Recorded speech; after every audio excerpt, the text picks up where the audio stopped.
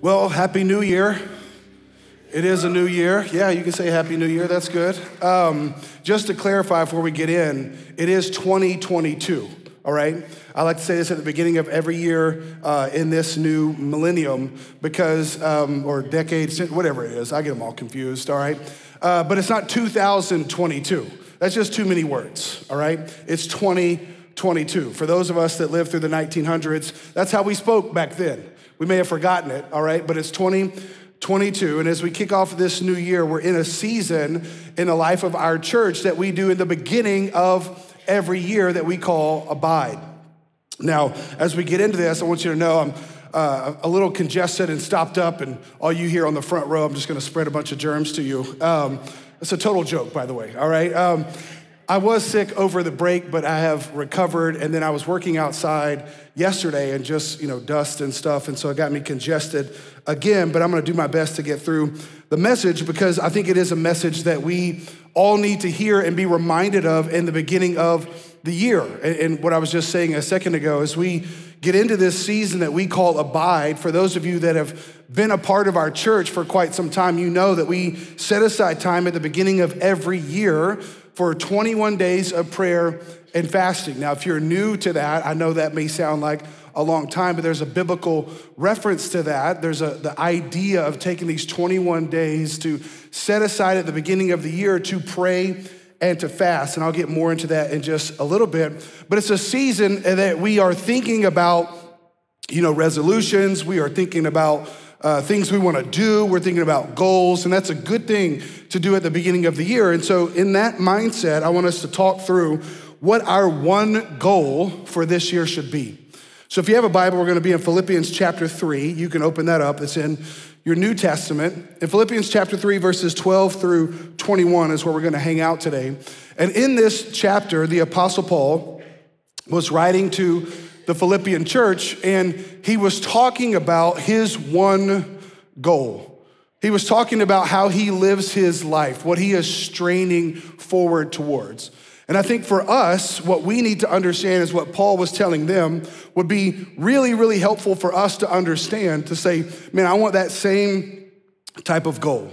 And so we're gonna go Philippians chapter 3, verses 12 through 21 is where we're gonna hang out. We'll kind of split it up into two sections, and we're gonna do the first one, 12 through 16. So let me read it, and then we'll talk about it. He says, Not that I have already obtained this or am already perfect, but I press on to make it my own because Christ Jesus has made me his own. Brothers, I do not consider that I have made it my own, but one thing I do. How many things does he do? One, if you're new, I like for you to call and respond only when I ask, all right? Let's try that again. But how many things? One thing. If you're online or in Jasper, let's try this again. Everybody, but what? One, One thing.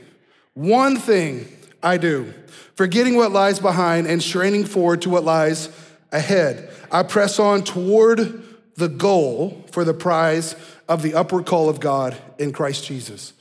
So Paul says he has one thing.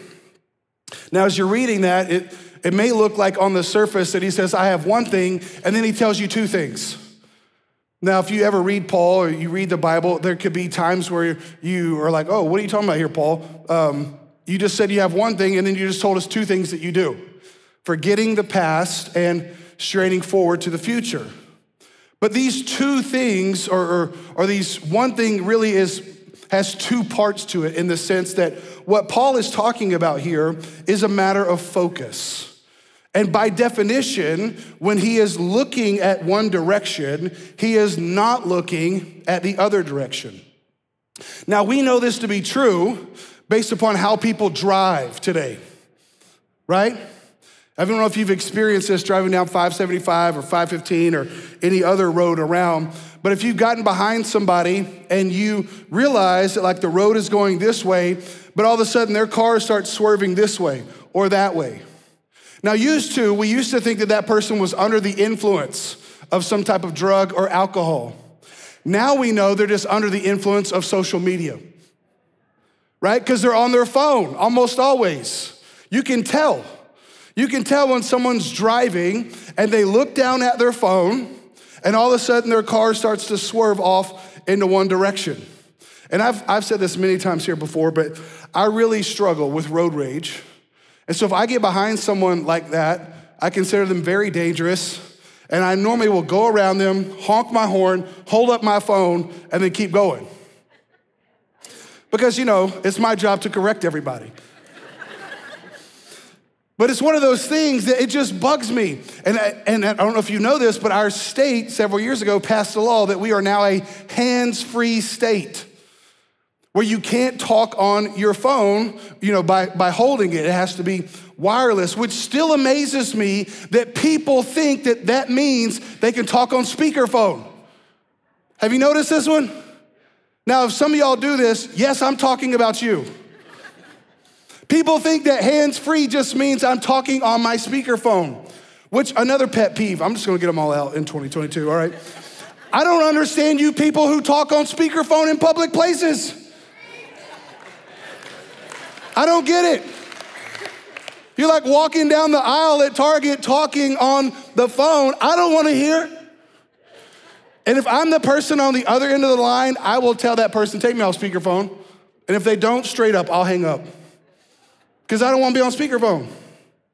None of us want to hear what you're talking about anyway. So, okay, back to the idea of focus. the point is, what Paul is saying is you can only focus on one thing. You can only focus on one thing. And his focus is not looking backwards, it's looking forward. It's looking forward to the goal of the upward call of Christ. And, and this idea that so many of us think that we can multitask, oh, I can multitask. No one's saying you can't do multiple things at a time, but what we are saying is you can't do any of them that good because it's a matter of focus. By definition, you cannot focus on more than one thing at a time. And what I'm saying is, we get into 2022 is we should not have a list of goals that we want to achieve this year, but we really only have one goal. Now, here's what I mean by this I don't know how much of a goal setter that you are. I, am not a huge goal setter, and I'll explain to you why later, which, you know, makes me, I don't, you know, I'm not quite type A, I'm really type O positive blood. That's what I am. Um, but a type A person has a list and wants to check them all off. I'm not quite like that. And, and I used to wrestle with that. I, I used to, because uh, people would always ask me, even leading our church, hey, what are our goals? And it took me quite some time to realize my own personality and how God shaped me, but also the difference between goals and direction. One of my mentors has helped me with this a lot. He said, Jason, what matters most is direction. What direction is your life headed? And goals are fine. I'm not saying goals are bad, but here's where it can become a problem. It's, it's the idea that we have priorities. But by definition, priorities mean I have, you know, I have things that are important to me. And if we have a lot of priorities, then we have no priority. Because there's a lot of things on a list. And so here's what happens a lot of times to well meaning, even Christians. They say Jesus is first. Jesus is first in my life. And then, you know, my marriage is second, my family is third, my church is fourth, my, my work is fifth, you know, my community is sixth, whatever, however you would rank that. And Jesus becomes one thing on a list of things. But how I think it's better to think about it is not that Jesus is first in a list of things, but Jesus is center. So if you think of an idea of a bullseye, which I'll show you a target here in just a little bit, but if you think of the idea of a bullseye, at the center, there's the smallest circle. And so the goal really is not to make Jesus first, the goal is to make Jesus central. Because if Jesus is the center of my life, then I can add concentric circles around that. I can add my marriage, I can add my family, I can add my church, I can add my work, I can add my community, I can add my world, kind of moving outward.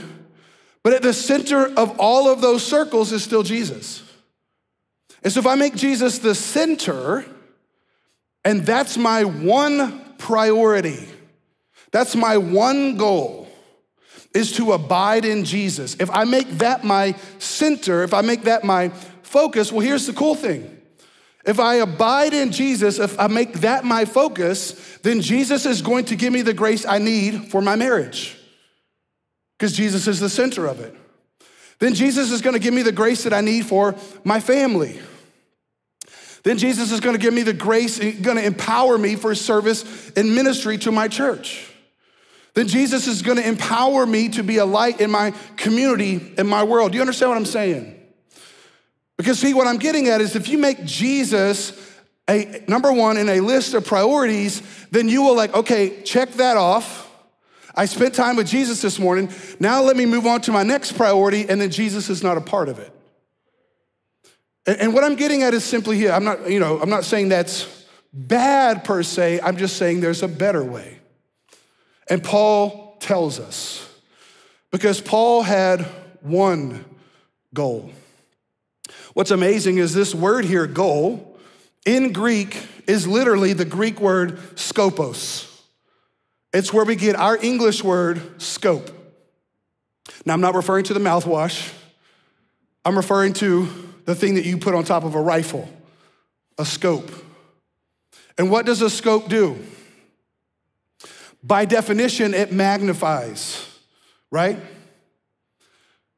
So a scope kind of zeroes you in on a target that maybe you couldn't see with just your natural eye. It magnifies what is in front of you. And Paul says he only has one scope, one goal, one aim, and that is to press forward into his relationship with Jesus. That's it.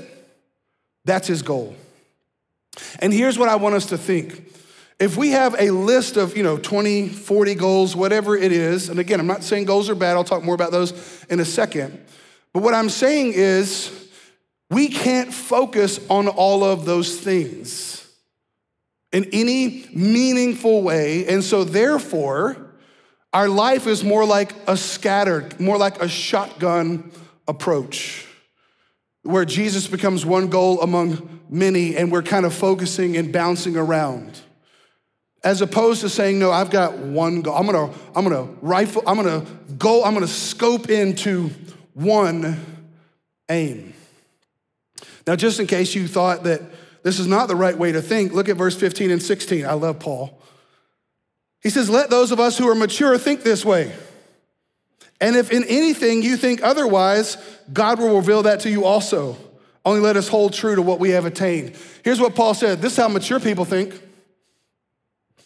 So, by definition, if you don't think this way, are you mature? Nope. This is why I love Paul. Paul makes a point, and then he has the audacity to think, to say, if you don't think like this, you're not mature. That's why I love it. And then he says, if you think any differently, God will show you. God will show it to you. He'll show you that I'm not wrong. He'll show you that this is how you should think. And here's what I'm trying to get us to see. If we can zero in our life, I'm gonna use a lot of gun terms. Those of you who are into guns are gonna love today's messages. If you're not, then you need to be, all right? but he said, I'm gonna zero in. That's what you do with the scope. You zero it in. When you, when you get a scope and you put it on the rifle, and those of you into guns know you pay way more for the scope than you do the rifle. A good one, anyway. And you zero it in because you realize that the rifle is no good to you if it's not zeroed in, if it's not scoped in, if it is not dialed in. We even say things like this it shoots true. Notice Paul said in verse 16, only hold true to what you have learned. So if you're taking notes, you might want to write this down. Our one aim is to abide. Our one aim is to abide. That's our one goal for 2022. Our one goal, our one focus, the one thing that our scope of our life is focused at to abide in Christ. That's the goal. And that's why we're doing this series.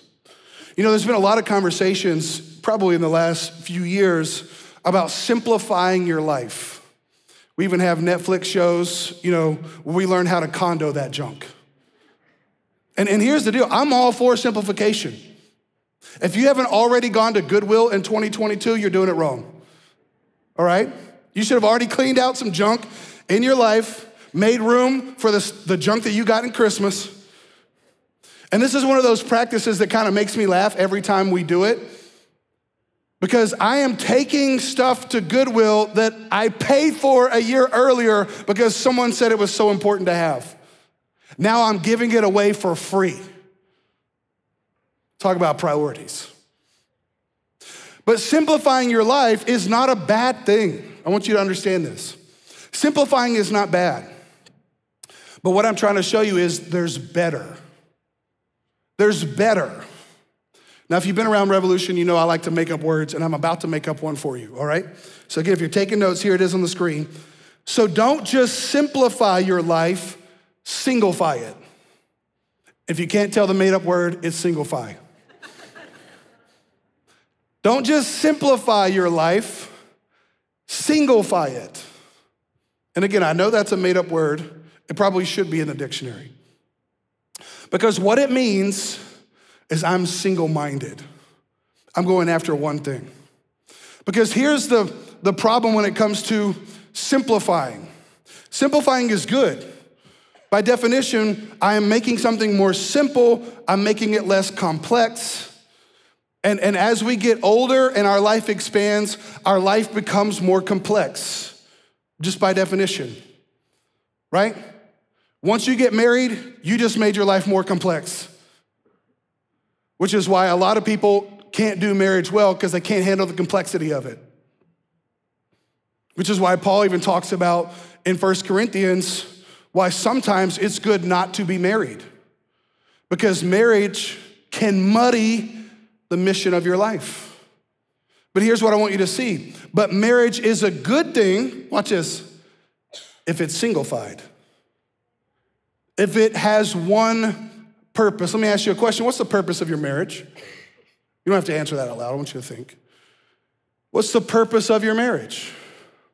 I've joked about this before, but on my very first date with Lindsay, which we had our 20 year anniversary this week, by the way, praise God. Yeah, you can clap for that. 20 years of her putting up with this. It's amazing. But I've joked about this before, but on my very first date with Lindsay, I told her, if you're not willing to live in a hut in Africa, don't marry me. Because I know I look good, right? But that's not the reason to marry me. It's not even the reason to procreate, although that is one of the main purposes.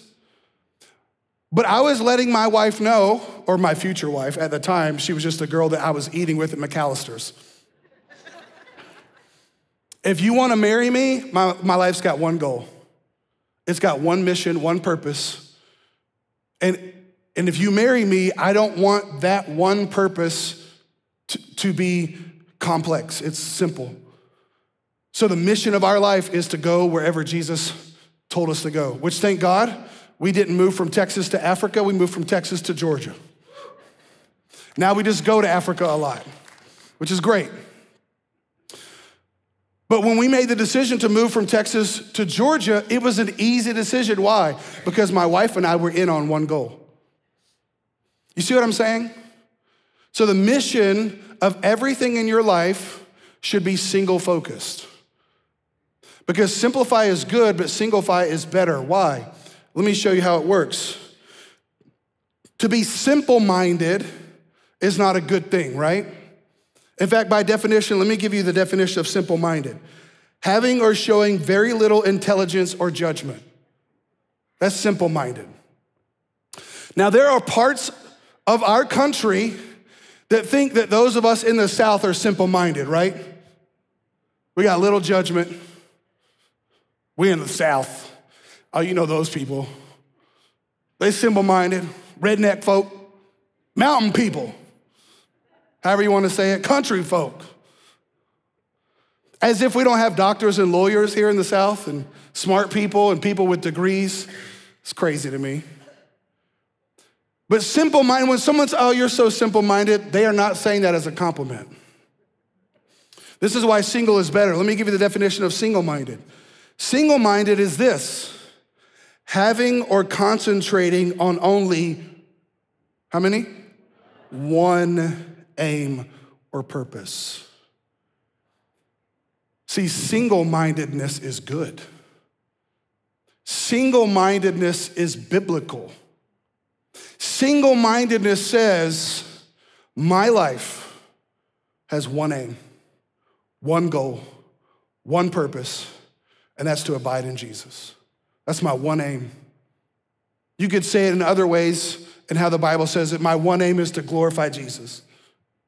My one aim is to make much of Jesus. The one goal, the one purpose, my one single minded focus is God. And Paul says that's how mature people live. So, as we kick off this series, what I'm trying to get us to see is we need to singlify our life. We need to become single minded people.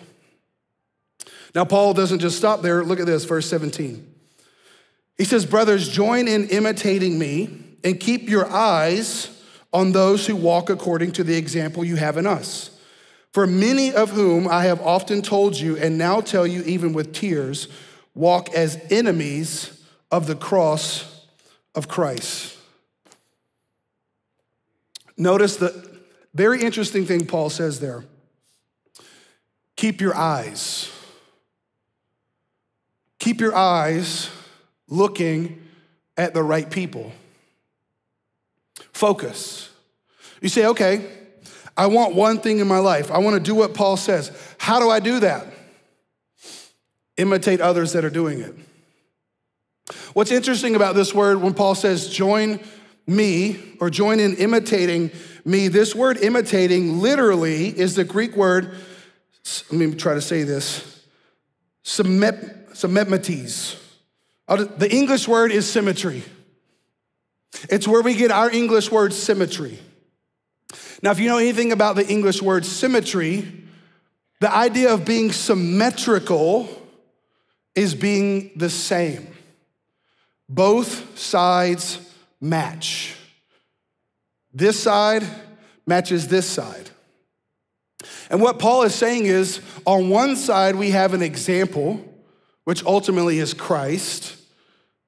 And so Paul was trying to imitate Christ, making his life look like Christ. And now he was telling them if my life looks like Christ and your life looks like mine, then your life looks like Christ. To be symmetrical. See, to be symmetrical means you have one design, one plan, you walk in one way. The opposite of symmetrical is asymmetrical, which, if you didn't know this, anytime you put the letter A in front of a word in English, it means the opposite. So, asymmetrical, let me give you the definition. Asymmetrical means this not identical on both sides of a central line. Let me give you another idea to think about. The word amusement. We have amusement parks, don't we? We have entire industry created to amusing us. Well, did you know that the word amusement is simply the word, the letter A put in front of the word muse? And, and muse means to, anybody know? To think. Muse means to think. So if amusement is the opposite of thinking, then watch this we have an entire culture and entire parks dedicated to just entertaining you so that you don't think. So, asymmetrical, watch this, are people who say they have one goal, they, they love Jesus, but then they don't walk how they talk. What do we call those people? Hypocrites, that's right. We call them hypocrites. Which, if there is one argument against the church, from people that are outside the church, it's that Christians are a bunch of what? Hypocrites. And that's true. Now, when people use that line of reasoning, what I say back to them is, well, then you should feel welcome in church. Yeah, because you're a hypocrite. Everybody is a hypocrite. Everybody says, yes, this is what I do, and then does the opposite. Right? This is why a lot of us have already broken our New Year's resolutions.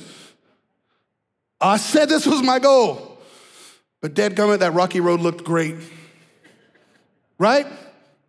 I said I was going to the gym every day, and I did for two days.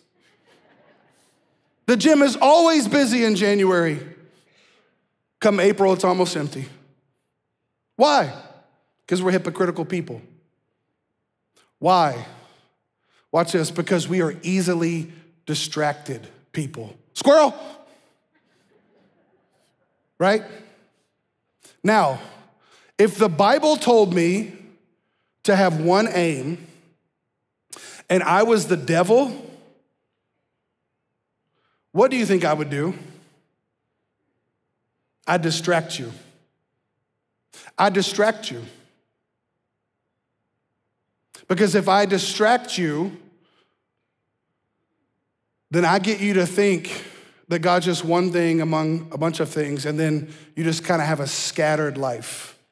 Now, I just realized I forgot to show you some slides. So, production guys, uh, you are already aware of this. Let's go back and show the targets. Let me show you the first one. There is a target right there of a shotgun hitting a target. That's a shotgun approach. Now, I've done my best to count, there's over 200 holes in there. That's a shotgun approach. And a lot of people take this approach to their life. God is one goal among many, and they have a lot. Of, I mean, you know, it's like I got some in the circle, but anybody who shoots guns, who, who knows anything about that, understands no one's gonna put that target up on their wall and say, I hit the paper. right? Because you're like, yeah, bro, you hit it with a shotgun. A shotgun, by nef- definition, is a splatter, is a spray. It has one little ball, a bunch of little ones that are going to hit this paper, and nobody with any type of marksmanship or um, uh, cares about actually being the type of person to say, Yeah, I can shoot well, would hold this up as an example of how to live their life. Let me show you the, the next slide. That's a far different target. That one hit the center, so much so, and I don't know who this is, I just found it on the internet. But she wrote her name. Amy Peacock, 7106, 25 yards, two hand, open sight, 45 ACP. So she hit that target from 25 yards away, open sights with a pistol, 45, and hit the center. So much so, that was a great shot. She's bragging about it, put it up on the internet with her name. And here I am talking about it 16 years later. Because that's the type of thing that you put up on your wall. I hit it. I hit it. But see, here's where the devil tricks us. He gets us to take a shotgun approach like the first one I saw you, showed you. Where God is a part of your life. You're like, I, yeah, I mean, you know, God gets like one tenth of my life. I mean, you know, I go to church, and by that, that means, you know, like seven times a year. I mean, I hit Christmas, I hit Easter, you know, it, God's on the paper. And yet, that's exactly what the devil does. Because distraction, watch this, distraction is the enemy of devotion. When we got married, those of us that are married, and this is the struggle with it, right? You're like, baby, I'm gonna give you one tenth of myself. Right? Any woman be like, oh, thank you so much. Appreciate that. I'm gonna give you one tenth of everything I own. I'm gonna give you one tenth of my time. No. You don't get into any relationship banking on giving them leftovers. But yet, the devil is so smart that he distracts us in our walk. We're not symmetrical, we're not the same on both sides. We're one way at church, we're one way at home.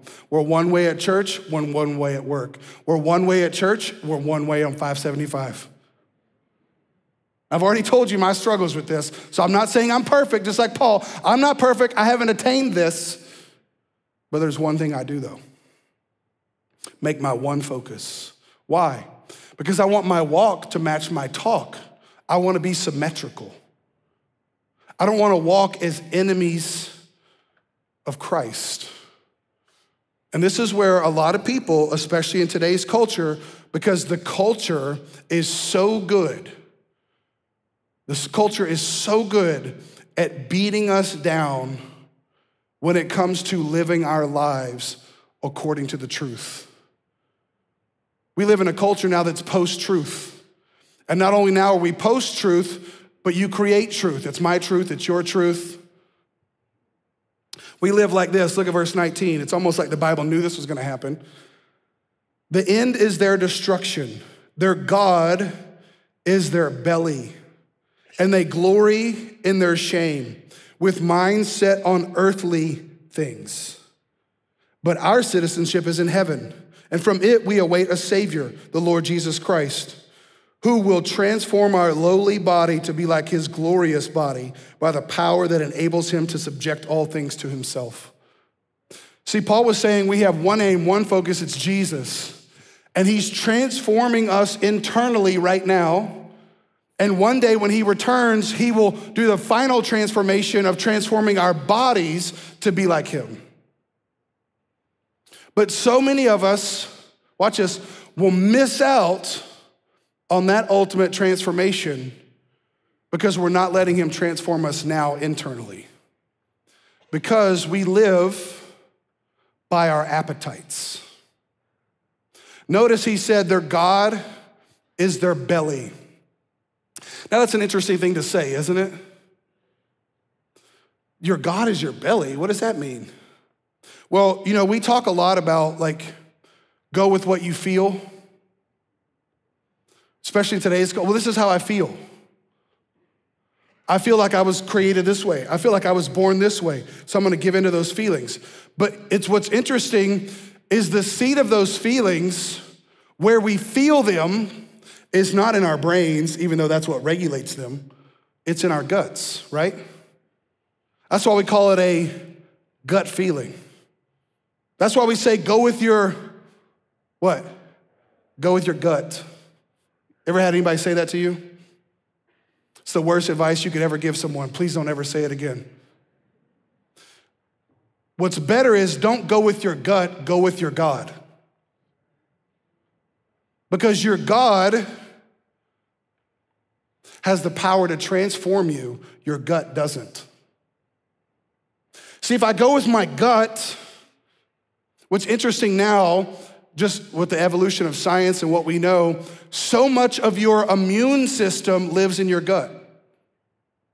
Which is why we keep getting sick all the time, is because we're very unhealthy. And that's the conversation no one wants to have.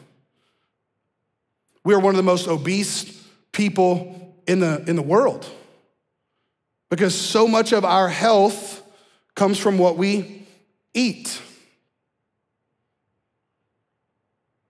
And so much of our decisions are made by what we feel in our gut.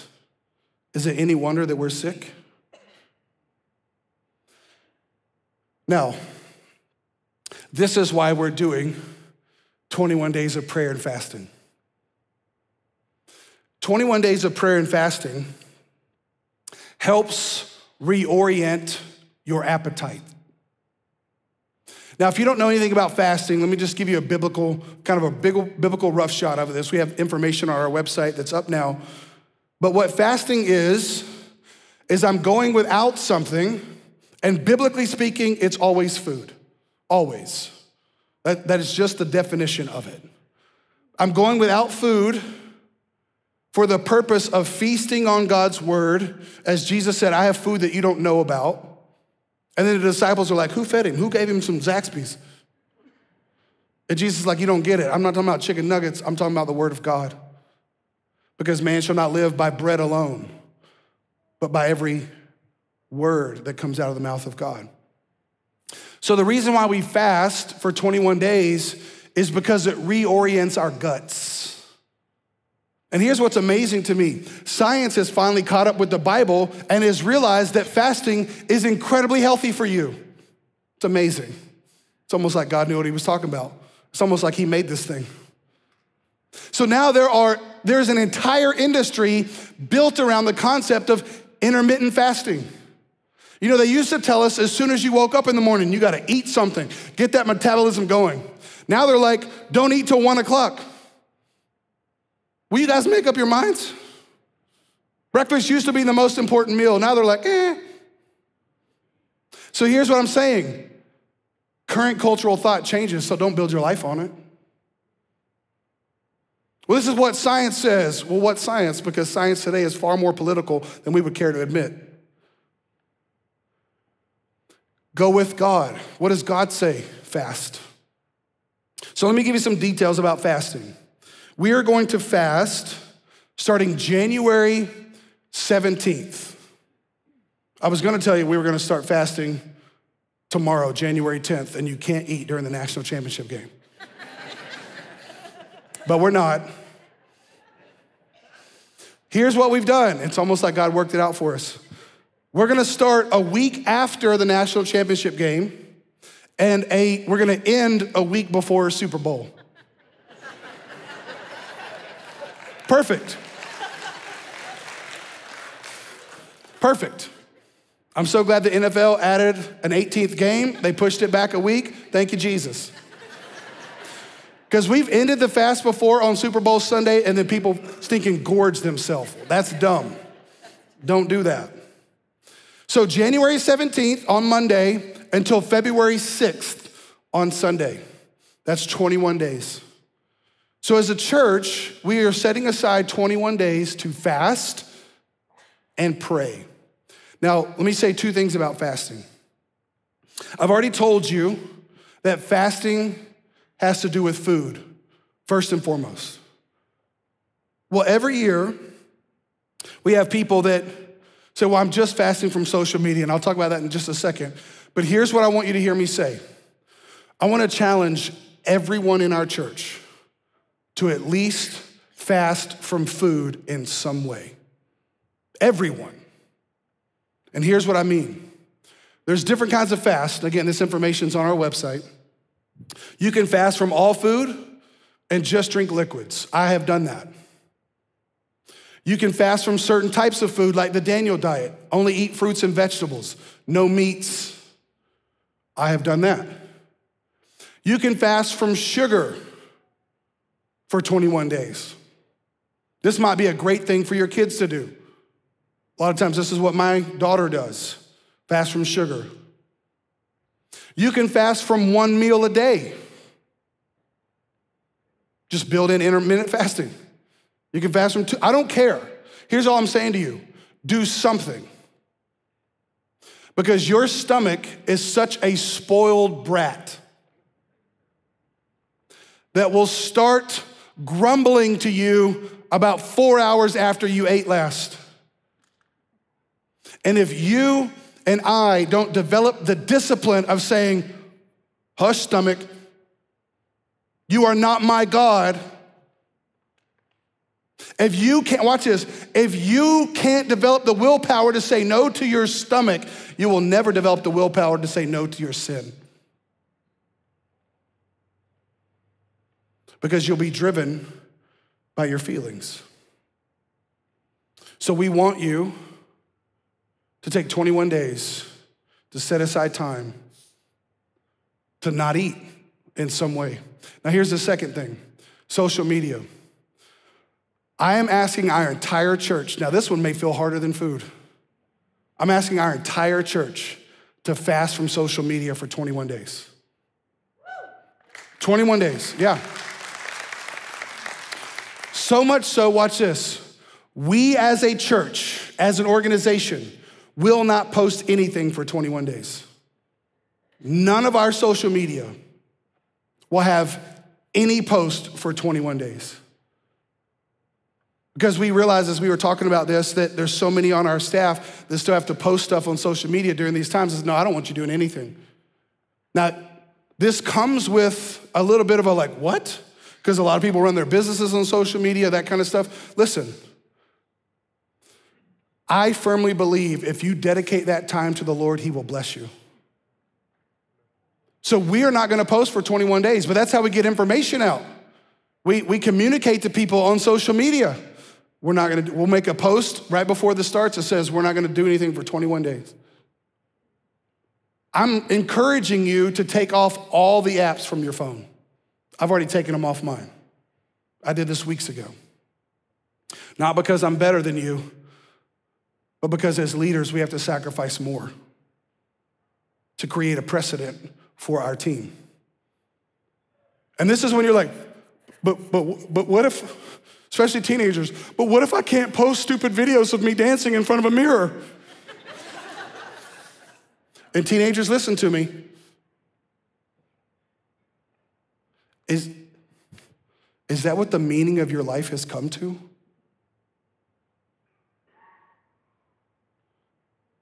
Maybe you need to reorient your narcissism.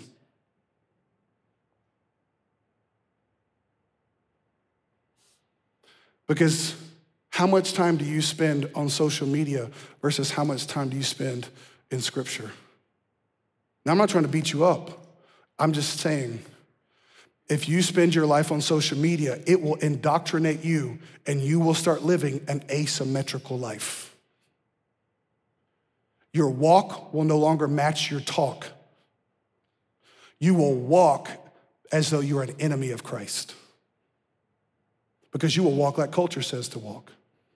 You will define yourself by your sexuality, by your other identities, and not by your Savior. And we wonder what if we could reorient our life to a place where there's symmetry? I promise you, you will not regret doing this for 21 days. Why?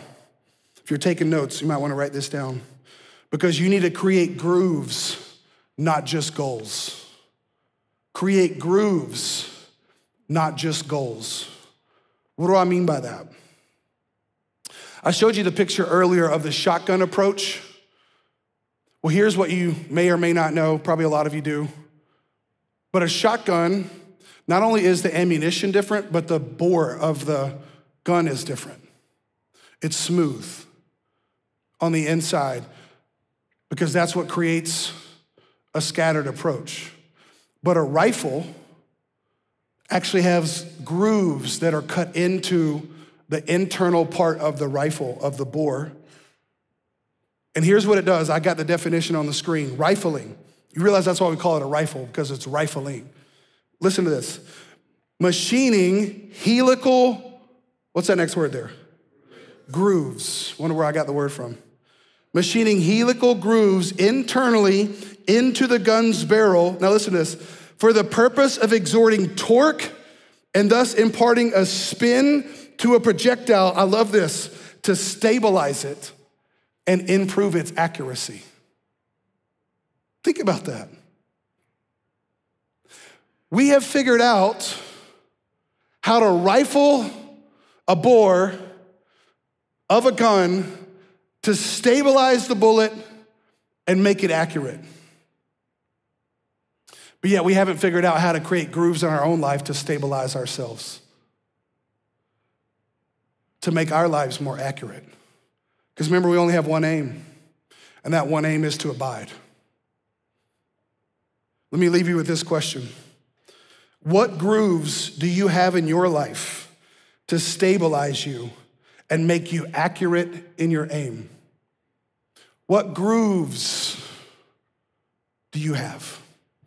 Notice how Paul said, walk. Well, walk has a pattern to it, right?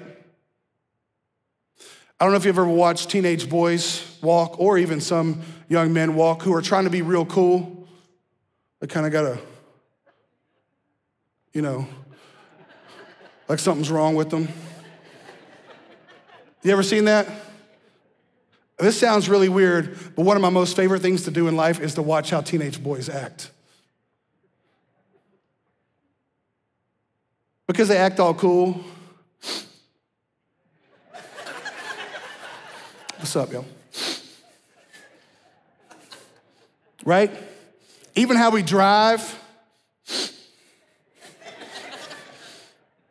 And you know if a dude's got a girl in the car, because if he doesn't, he's leaning to the window. If he does, he's leaning to the inside. All you, all you dudes know what I'm talking about. But you wanna know, and I'm not trying to like make fun of people, but go into a nursing home and watch how they walk. They ain't walking like this no more, are they? They're walking like this. Why? Because life has a way of beating the cool out of you.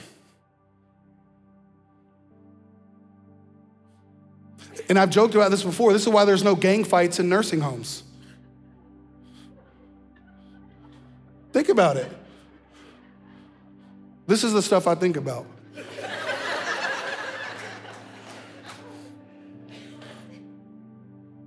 because by that point in time, everyone has realized most have realized, I should say, that how they used to walk when they were younger was so dumb. Trying to impress people. Here's what I'm saying create grooves in your life, not just goals. See, goals aren't bad. But here's my problem with goals. If I have a bunch of goals and I'm taking this kind of shotgun approach to life, then I'm not rifling in on one thing and I'm not thinking about the grooves I need to create. So you might have a goal of reading 12 books this year, one every month. And let's say you got to the end of the year and you only read 10, not 12. Did you fail? No. Because the purpose, if you're wise, is not to read a bunch of books, the purpose is to create grooves, to create a pattern in your life that says, I don't want to just be amused and veg out watching 100 hours of a Netflix series, but I want to think, I want to read, I want to grow. That's a groove. I want to create the groove of gathering with the people of God. I want to create that groove in my life. I want to create the groove of reading my Bible. As a part of this 21 days, we're going to put together a guide. It'll be available this week on our website. The information's there, but the guide will be there later, where it's 21 days. And it's built very simply. You'll have two minutes of quiet, and then there's a scripture verse, and then the read method this read, examine, apply, pray. We just kind of go through it, and then you'll end it with two minutes of quiet. Those are grooves that you can create in your life that, watch this, that stabilize you because they exert torque on you, which means pressure, and they force you to be more accurate.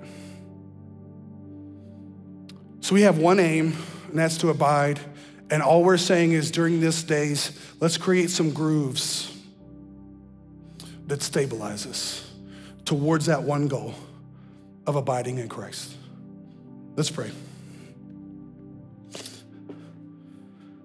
Father, thank you for loving us so much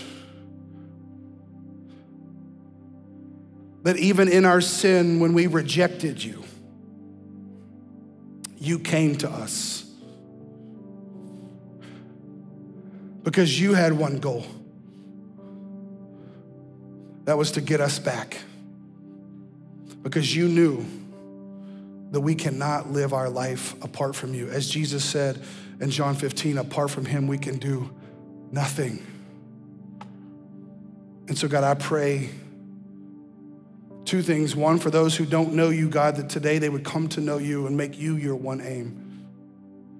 And for those of us that do, we would rifle in our life on that one aim, create grooves that honor you.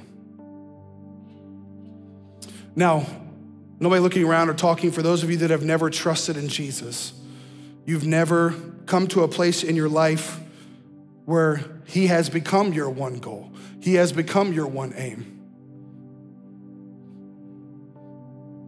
Then today you can trust Him. Be saved so that your life now will be in Christ. And when He returns, you will go to meet Him. So if that's you, if you want to pray and trust Jesus right there where you are, you don't have to do this out loud, but you can pray with me. And it goes like this Say, Father, thank you for loving me, that you sent your son, Jesus, in my place for my sin. I ask you to save me, forgive me. I'm trusting in Jesus alone. He's my one aim. Thank you for loving me. Now, if you're in one of our locations and you just prayed that with me, would you just simply lift up your hand so we can see you? Just lift it up. Thank you. We got men and women going to walk around, put a gift in your hand. When they do, you can put it down. And if you just made a decision, whether you're in person or online, you can fill out our digital connection card at the end and let us know who you are. But then, those of us who have trusted Jesus, as we prepare for this season of abiding, maybe ask the Lord right now, Lord, what do you want me to fast from? What does that look like for me? What food do you want me to fast from? Do you want me to fast from all food, certain type of food? And then go ahead and prepare your heart now for getting off social media to reorient your appetites around God so that you go with your gut less and you go with God. Not with how you feel, but what He says. Think about grooves in your life that you need to create. Father, I pray that you would bless this word. It is a word that we all need. Not just because it's the beginning of a new year, we need it all the time, but since we're at least thinking about these things right now, God, I pray that you would give us this one aim, this one goal in this new year to abide in you and help us to create grooves in our lives that focus us in, rifle us in on that goal of following Jesus. We ask this in Jesus' name. Amen.